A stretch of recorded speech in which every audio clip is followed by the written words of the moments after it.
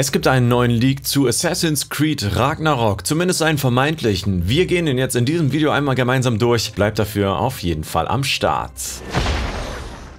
An erster Stelle lade ich euch noch ein, wirklich mal hier ein Abo auf dem Kanal dazulassen. Ich habe mittlerweile weit über 600 Videos zu Assassin's Creed Odyssey und anderen Assassin's Creed Titeln hochgeladen. Deshalb, wenn ihr Fan der Serie seid, dann drückt jetzt auf den Abo-Button. Ich weiß, die meisten von euch haben das noch nicht getan, deswegen holt das unbedingt mal nach. Dann hat auch das lästige Fragnat in die Suchleiste eingeben endlich ein Ende für euch. Außerdem solltet ihr unbedingt nochmal auf meinem Twitch-Kanal vorbeischauen, twitch.tv slash fragnat. Würde mich auf jeden Fall freuen. Im gestrigen Livestream sind wir das Ganze schon mal gemeinsam durchgegangen. Wir haben uns gemeinsam angesehen, was es hier gab an geleaktem Material. Das waren sieben Bilder und auch noch ein paar Infos. Die sind wir Stück für Stück durchgegangen und danach hatten wir dann eben eine Schlussfolgerung. Das Ganze möchte ich euch jetzt hier nochmal in abgekürzter Form bereitstellen, damit ihr nicht den ganzen Livestream nachschauen müsst, denn es ist meiner Meinung nach ziemlich interessant und bietet einiges an Potenzial, sofern dieser Leak denn echt ist. Dafür sind wir hier einmal auf gamefront.de, die haben eine Übersetzung des Leaks. Das Ganze war nämlich im 4chan Forum und da fängt es auch schon an, ähm, puncto Glaubwürdigkeit des Leaks. Das Ganze ist auf 4chan hochgeladen hochgeladen, das kann jeder hochladen, das kannst du machen, das kann ich machen, das kann Ubisoft machen.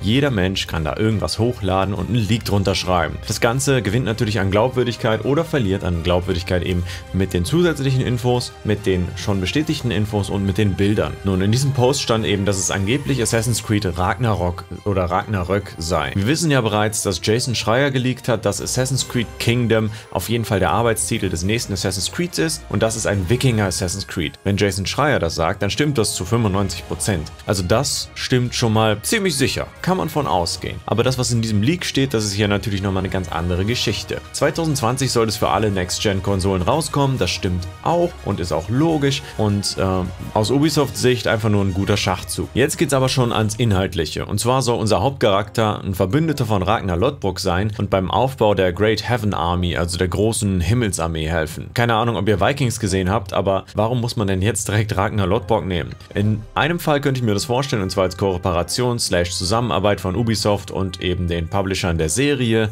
Halte ich für eher unwahrscheinlich. Keine Ahnung, ob das so sein kann. Schreibt gerne mal eure Meinung dazu in die Kommentare. Für mich ein Detail, was ich eher nicht erwarte. Die Karte sei wohl in mehrere Königreiche unterteilt, unter anderem ganz Großbritannien, mega groß, Dänemark, Schweden, Norwegen und Finnland. Und das war so das erste, wo ich gedacht habe, what? Das kann doch gar nicht sein. Viel zu viel. Das ist eine viel zu große Map. Großbritannien Großbritannien, Dänemark, Schweden, Norwegen und Finnland, also ganz Großbritannien plus Skandinavien, halte ich für sehr unrealistisch. Ähm, Gehe ich nicht von aus, dass sie das so bringen. Ich meine, man könnte so einen Teil der entsprechenden Maps nehmen. Ja, wie das zum Beispiel auch bei Origins war. Man hat ja nicht ganz Ägypten besucht, sondern eben nur einen Teil von Ägypten. Aber dass man dort so viel sehen kann, das bezweifle ich. Fände ich geil, aber ich bezweifle es einfach mal stark. Weiterhin heißt es dann hier in diesem League, die Königreiche sind wiederum in Regionen unterteilt, in denen sich die Siedlungen befinden können. Das kann man so sagen, war in gefühlt jedem Assassin's Creed Teil so, da könnte man halt auch was anderes zu sagen. Ich nenne das immer, es wird nicht so heiß gegessen, wie es gekocht wird. Einfach ein dummer Spruch, der immer passt. Ja, natürlich ist es in Regionen unterteilt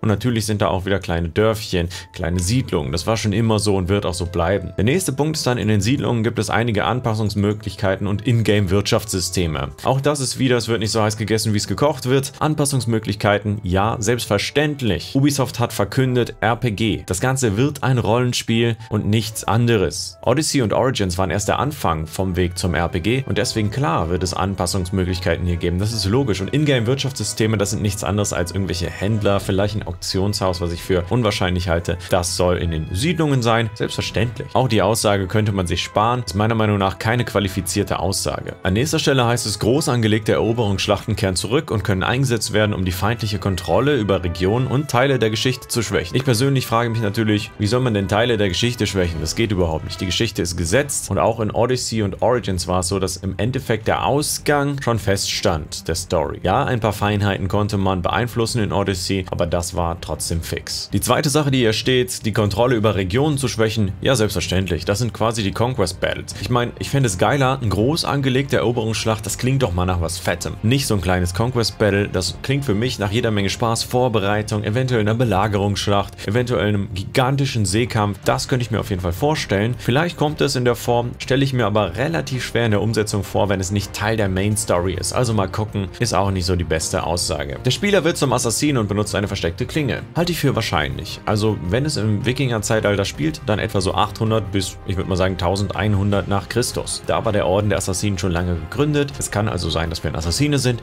Es ist also wahrscheinlich, dass wir auch wieder eine versteckte Klinge nutzen werden. Halte ich grundsätzlich auf jeden Fall für eine ganz gute Wendung und im nächsten Satz heißt es dann, die Sage der ersten Zivilisation sei nicht so stark vertreten wie in Odyssey. Betonung auf nicht so stark, das heißt nicht nicht, aber weniger als in Odyssey. In Odyssey war auf jeden Fall der Fokus auf erste Zivilisation, aber ich meine, allein dadurch, dass wir jetzt zum Assassinen werden, ist es wahrscheinlich auch ein bisschen mehr an die Standard Abstergo Story bzw. die standardmäßigen AC Stories dann angelehnt, zumindest nach diesem Leak. Fände ich eine coole Veränderung, muss ich sagen. Einfach mal wieder ein neuer Impuls oder ein alter Impuls, neu, ihr wisst, was ich meine. Man findet eine Gruft und auch den Kriegshammer Mjölnir des Gottes Thor. Fände ich auf jeden Fall eine coole Sache. Wir wissen ja, dass die Isu-Götter sind, also werden wir auf jeden Fall hier einen Isu-Hammer in die Hand kriegen, wenn es so der Fall ist. Fände ich sehr geil. Äquivalent zum Speer des Leonidas, wäre auf jeden Fall eine runde Sache. An der Stelle finde ich aber, läuft es dann wieder konträr zu den Screenshots, die wir eben gesehen haben, denn da trägt der Protagonist ein Schild. Mal gucken, ob man dann irgendwie Thors Hammer plus Schild kombiniert. Keine Ahnung. Auf jeden Fall sagen sie im nächsten Satz, das Spiel sei hauptsächlich von Ubisoft Montreal entwickelt. Das ist richtig. Das stimmt auf jeden Fall, muss hier auch so fortgeführt werden.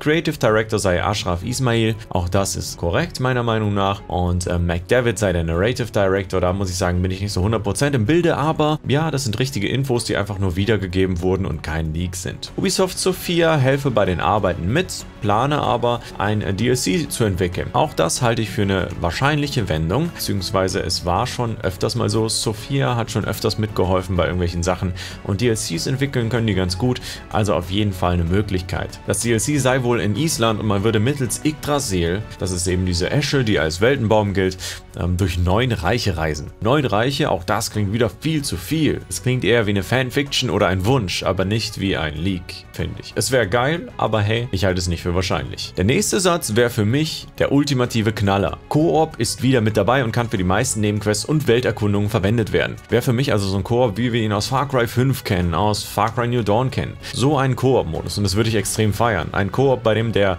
Host eben Progress macht und der Mitspieler nicht. Aber ich bin ein gigantischer Fan von Koop, also halte ich das für eine sehr geniale Idee. Falls das kommt, wäre das cool. Ich halte es aber für super unwahrscheinlich. Es wäre total unbalanced, wenn da zwei Leute mit einer versteckten Klinge irgendwie rumlaufen. Man müsste das auf Koop balancen. Ich meine, Far Cry gut, es war halt so total Arcade-lastig, aber Assassin's Creed ist nie so Arcade-lastig gewesen, dass man Koop einfach da reinknallen könnte und es irgendwie noch funktioniert. Also halte ich auch für unwahrscheinlich leider. RPG-Mechaniken kehren zurück, wussten wir schon. Das war schon klar, schon lange von Ubisoft bestätigt. Adler kehrt zurück, könnte sein. In einem anderen Leak hieß es, ein Bär wäre da. Dieser Leak war aber auch sehr, sehr unvertrauenswürdig. Adler halte ich für wahrscheinlicher und Schiffskampf kehrt zurück, halte ich für eine sehr gute Sache. Ähm, auch wahrscheinlich, weil in Odyssey hatten wir das, in Origins haben sie es leicht angeteasert und jetzt wird es einfach weiter fortgeführt. Und Wikinger ohne Schiffe, kann sich das jemand von euch vorstellen? Wahrscheinlich nicht. Der Schiffkampf sei aber abgeschwächt, um sich mehr auf die Erkundung zu konzentrieren. Wäre für mich persönlich eine interessante Sache. Ich habe gestern im Livestream einfach mal rumgefragt. Mögt ihr überhaupt den Schiffskampf in Odyssey? Und locker 90% der Leute haben gesagt, das ist nervig, da habe ich keine Lust drauf. Ähm, für mich war das auch immer eher so ein Minispiel in Odyssey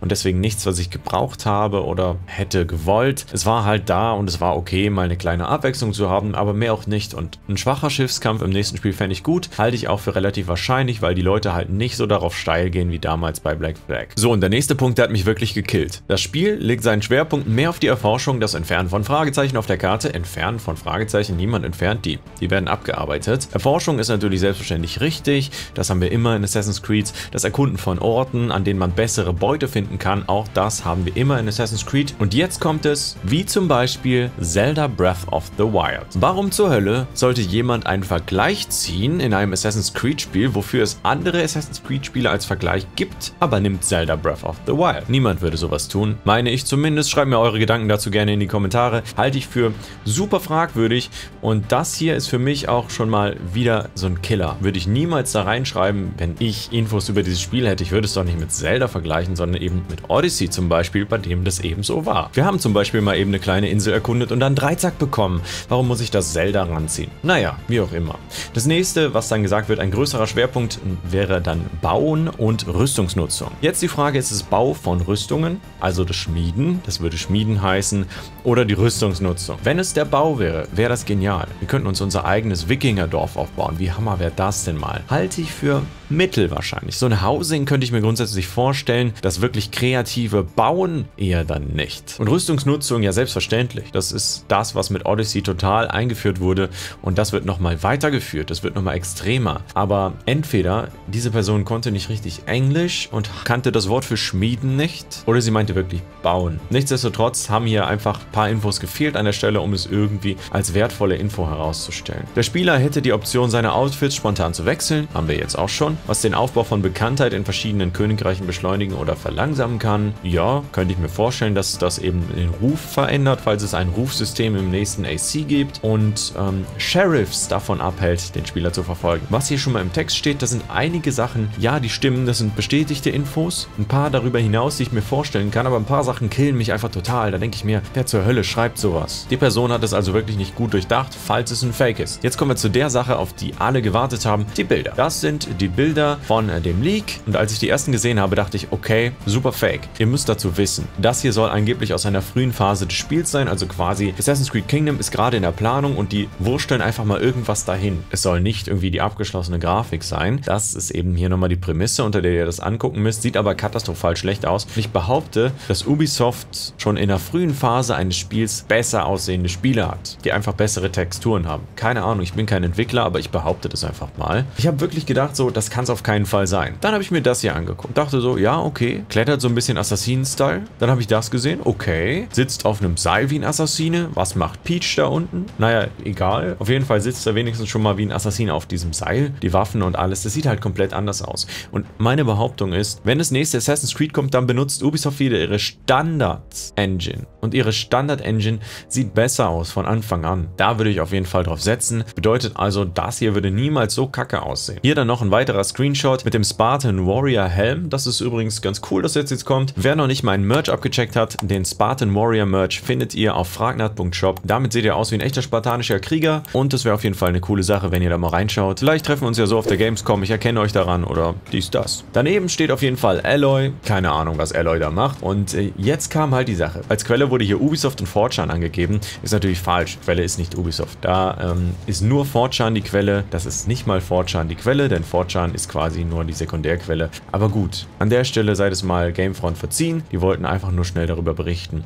Jetzt kommt folgendes. Gestern im Stream schreibt mir jemand, schau dir mal Valnier Rock an. Ja, man, man sieht sich das hier einmal an und dann das. Ich behaupte, billig mit einem Handy abfotografiert ist das locker dieses Spiel. Ihr nehmt euer Handy, verwackelt das mal so richtig schön und dann sieht es locker so aus wie das hier. 100 Pro ist das dieses Spiel. Vielleicht noch ein anderes, was ähnlich aussieht, aber das passt ja mal so gut da drauf. Also meine Vermutung ist, es ist dieses Spiel. Auch gerade dieser Screenshot hier, das sieht einfach so aus. Und im Übrigen finde ich, das Spiel sieht so in gut auflösender, hochauflösender Grafik gar nicht mal so schlecht aus wie hier. Vielleicht haben sie da einfach dann Kartoffelauflösung nochmal gemacht, zusätzlich mit dem Handy abgefilmt und gesagt, das ist jetzt Assassin's Creed Kingdom. Irgendjemand wird sich jetzt ins Fäustchen lachen und sagen, ja moin, habe ich euch alle verarscht. Auf jeden Fall eine witzige Idee, uns das so zu servieren. Ich persönlich halte es für hyper unwahrscheinlich, dass das hier jemals ein Assassin's Creed sein könnte.